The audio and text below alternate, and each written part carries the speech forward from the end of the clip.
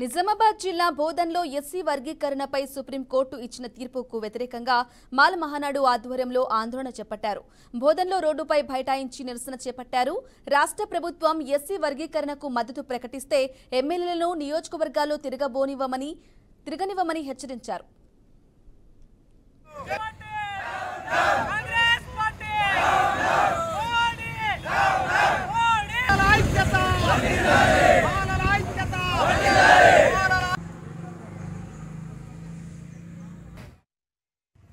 నిరసన కార్యక్రమం దేనికంటే ఏదైతే మొన్న గౌరవ భారత ఉన్నత న్యాయస్థానం సుప్రీంకోర్టు ఎస్సీ ఎస్సీ వర్గీకరణ గురించి వాళ్ళకు అనుకూలంగా తీర్పు ఇవ్వడం జరిగింది. ఏదైతే రెండు వేల నాలుగులో అదే సుప్రీంకోర్టు వరీకరణ రాజ్యాంగ ప్రకారము ఆర్టికల్ త్రీ ఫార్టీ వన్ ప్రకారము వరీకరణ చేయలేము.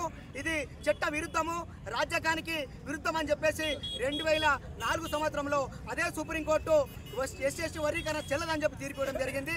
అదేవిధంగా ఏదైతే మోడీ ప్రభుత్వం బీజేపీ ప్రభుత్వం దళితులకు చిచ్చు పెట్టి దళితులకు విడగొట్టాలని చెప్పేసి దళితులు హైకోర్టు దెబ్బ కొట్టాలని చెప్పేసి ఈ గౌరవనీయులు మన మందకి దండతో చేతులు కలుపుకొని ఈరోజు రెండు వేల ఇరవై నాలుగులో బీజేపీ ప్రభుత్వము మోడీ ప్రభుత్వము ఈ సుప్రీంకోర్టుతోని కొల్లిడై సుప్రీంకోర్టుతోని వాళ్ళతోని వాళ్ళ చేతులు కలుపుకొని ఈరోజు రాజ్యాంగానికి విరుద్ధంగా